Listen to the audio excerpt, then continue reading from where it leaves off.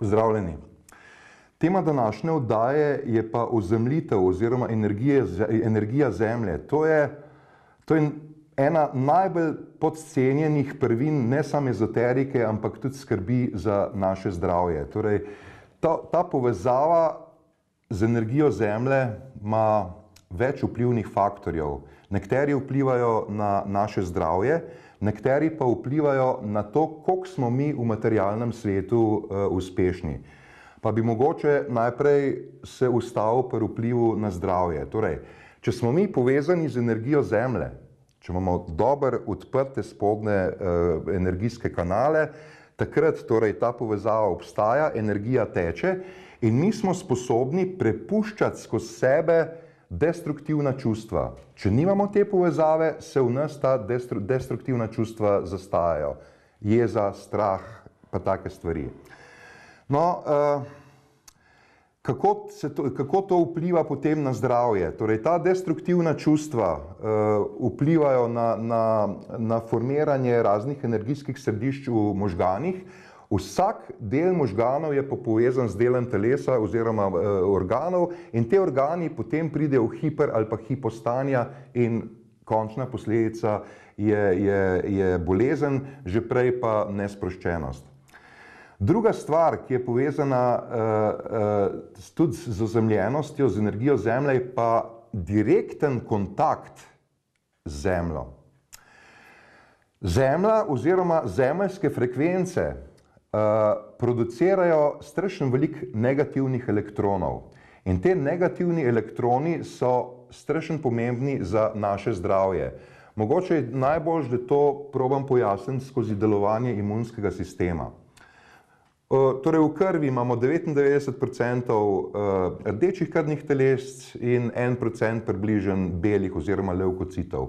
Levkociti imajo vlogo imunskih, imunskih celic. Oni se ukvarjajo s tem, da takrat, kadar v naš telo udrejo kakšni patogeni, da grejo v akcijo, pa jih probajo sesut, ali, ali pa recimo, če imamo kakšno rano, da, da eh, razgradijo okoliško tkivo, pa poskrbijo za celjenje ampak uh, ne gre samo za levkocite, imamo še, imamo še kompleksnejše uh, dele, ki se družijo v imunski sistem. Imamo prav recimo, recimo celičje, se pravi v, recimo v, v črvesju je 70% imunskih celic, potem na svoj način ima, ima vlogo imunskega sistema, tudi imajo bezgavke, vranica ni nič drugega, kot ena velika bezgavka. No, in torej, ko pride do enega patogena, takrat gre imunski sistem v akcijo, ampak zanimivo je, da pri tem nekateri deli tega imunskega sistema producirajo tudi tako imenovane proste radikale, ki jih eh, v glavnem v njih slišimo kot da so nekaj slabega. Ampak prosti radikali v tej fazi, ko jih torej pri neki motnji telesni proizvaja imunski sistem, imajo vlogo sesipanja patogenov oziroma celjenja ran. Recimo, prosti radikali so molekule, ki jim manjka, eh, eh, ki jim do ravnotežja manjka eden ali pa dva eh, negativna elektrona. In te skušajo dobiti od patogenov in jih s tem naredijo nestabilne. Ali pa recimo, ko, ko imamo kakšno rano, od eh, te prosti radikali jemljajo te proste elektrone iz tega, iz tega poškodovanega tkiva, ki zato razpade in nastane vnetje. Torej, taka vnetja, do katerih pride pri celjenju, celjenju ran, so ok, problem so pa kronična vnetja. In po mnenju nekaterih so kronična vnetja vzrok za večino resnih bolezni. Pri kroničnih bolezni je pa tako, da naš imunski sistem producira proste radikale, čeprav za to ni nobenega razloga in napadajo zdravo tkivo.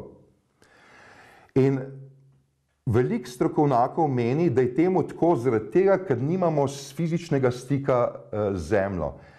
Torej, ta fizični stik je, je prekinjen z gumijastimi podplati, tudi v, v stavbah smo mi na, na raznih izoliranih površinah, Zakaj gre? Torej, naši podplati so prav prilagojeni, na njih je ogromno uh, živčnih končičev več kot kjerkoli drugje na telesu, ki so prilagojeni za to, da vnašajo oziroma prevajajo v telo te negativne elektrone. In te negativni elektroni potem zreducirajo oziroma neutralizirajo proste radikale.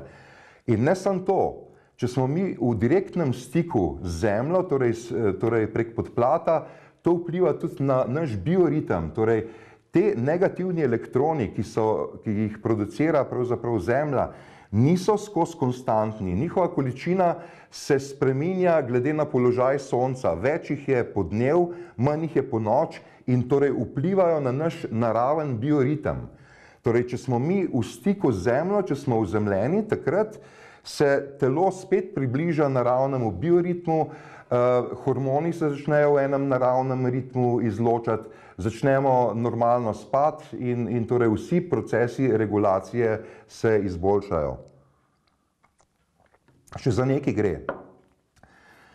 Danes uh, imamo strašno veliko tega bom rekel, elektrosmoga v, v zraku in tudi um, ogromno tehnike temelji na brezžičnih prenosih. Tudi te, te signali vsi povzročajo v naših telesih šum in, in torej motne regulacije. Torej, če smo mi ozemljeni, če imamo stik z zemljo, tudi ta, te elektrošume uh, uh, spuščamo skozi in je tako, kot da jih ni. Na internetu uh, tudi najdemo en posnetek, ko si en možakar, ki je v sobi polni tehnične opreme, najprej zmer obremenjeno s sevanji, ki je ogromna, potem da pa sam roko na eno ploščo, ki je uzemljena, te obremenjenosti več ni. Torej, obstajajo tudi načini, da mi poskrbimo za uzemljitev prek raznih naprav, ki nam dajo stik z zemljo, ni zdaj nujno, da stalno zunaj bosi hodimo. Uh, Kar se pa tiče uh, te uspešnosti v, v pojavnem svetu, je pa vzemljenost povezana z našo sposobnostjo, da realiziramo cilje. Torej, če ti nimaš povezave, uh, uh, povezave z energijo Zemlje, v ciljih sam fantaziraš. Najbolj si blokka brihten, ampak izvedbe pa ni. Torej, ta povezava z Zemljo nam pa da tisto moč, odločnost, da mi cilje, cilje tudi izpolnimo. Eh, ne gre za to, torej za to povezavo samo prek eh, teh prostih elektronov. Recimo sodnjaki poznajo dve eh, značilni točki na telesu, prek katere pridemo v stik z energijo Zemlje. To sta Yongchuan na podplatu, ki je povezana z ledvicam in tam obnavlja neko silo, ki jo na vzhodu imenujejo Ying. Ying je ena zanimiva energija, ki bi lahko rekli tudi či DNK-ja. To je tista sila, ki nas pravzaprav uh, drži skupaj. Torej, povezava z Zemljo to, to, uh, ta jink obnavlja. Druga taka točka je med nogam, točka REN 1 ali pa TONG. In bolj je ta točka odprta, bolj imamo mi stik z energijo Zemlje. Zato so recimo v Indiji razvili tradicionalno sedenje v lotosu, tam imamo odprto to točko tonk ali pa na japonskem recimo sedenje na lastnih petah. Klečiš in sediš na lastnih petah, tudi tam imaš odprto točko tonk. Zato je tudi ni presenetljiv, da, da je ena izmed najbolj klasičnih vaj povezave z zemljo je čepenje. Pri tem lahko tudi kakšne mudre uporabljamo, mudre vzemljitve, o katerih sem govoril eh, v eni prejšnjih oddaj. Drugače pa energijo zemlje povezujejo z ženskim principom. V stari Grči je bila to recimo boginja Gaja, v, v, v, recimo v Kabali, eh, se pravi židovska tradicija, imenujejo to, to energijo Šakina, eh, njena gospodarica je, je, pa, je pa kraljica Malaka.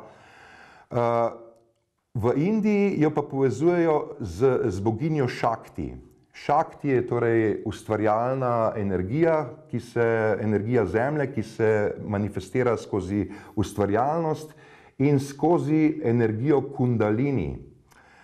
Uh, mi vemo, ponovadi govorijo samo v enem kundaliniju. Uh, vzhodnjaki pravijo, da se kundalini lahko pod določenimi pogoji, da je to neka energija, ki se pod določenimi pogoji dvigne po hrbtenici. Sam cela zgodba je taka. Torej, Kundalini ni neka splošna zemeljska energija. Zemeljska energija splošna je povezana recimo s tisto vročino zemlje, potem s temi površinskimi valovanji, zemeljskim magnetnim poljem. Kundalini je pa bolj povezan s tistim ognjem, ognjem v središču zemlje in je vezan s transformacijo. Sama beseda kundalini izhaja iz besede kunda, ki je pomenila uh, luknjo, v kateri so recimo sežigali odpadke, v kateri so, so imeli neke inicijacije in v kateri so tudi sežigali trupla. Torej, povezava z zemljo in transformacijo. Po drugi strani so rekli kunda tudi tej uh, votlini, ki jo imamo v trtici.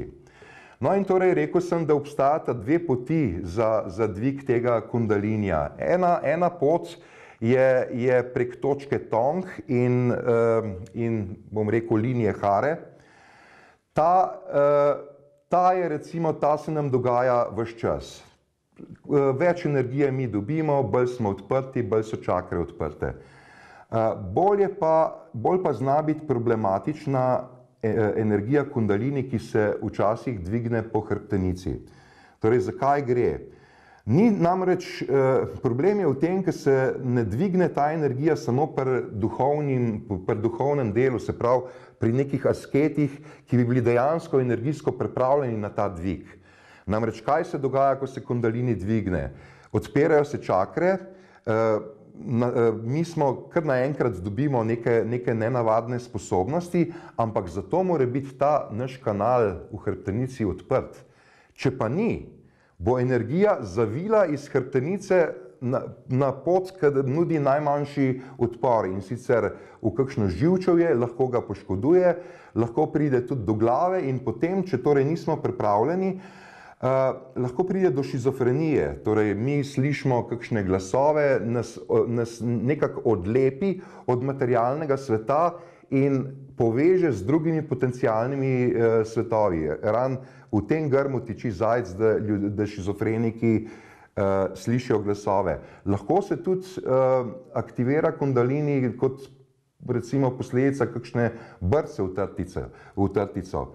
Ampak še nekaj je zelo pomemben. Torej, že sam po sebi sem rekel, da kundalini se lahko sproš pri, pri, nestab, pri šizofrenikih, recimo, če si že prej šizofren, pri nestabilnih ljudeh.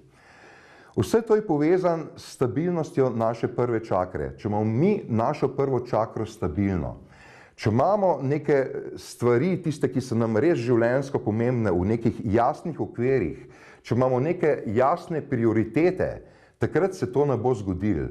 Če smo pa vse čas v konfliktu s sami sabo, se pa to res lahko zgodi in to je, to je torej nevarno. In uh, zato je blazno pomembno, da mi prek, torej prek vsega, vseh vaj vzemljitve, da delamo tudi na tej stabilnosti prve čakre in vnašamo, vnašamo v, eh, v naša življenja nek, nek red in smisel. Mogoče bi eh, omenil samo še eno zanimivo vajo, eh, pri kateri pride do te energijske povezave z Zemljo. To je cikl vaj Jen John, ki jo dejansko mi mi izvajamo jih stoje in s pokrčenimi koleni in ko pokrčimo kolena, uh, takrat smo, imamo odprto točko tong, prihaja do stika, intenzivnejšega stika uh, z energijo zemlje in ob tem mi povezano dihamo. Ko povezano dihamo, se procesirajo naše ujete energije, se vzemljujejo, vzemljujejo energija zemlje gre gor in v, na ta način, recimo, to je eden izmed načinov, kjer preko stika, hotenega stika z energijo zemlje, mi v življenje vnašamo neko stabilnost, zdravje in ne nazadnje uspešnost. Pozdravljeni.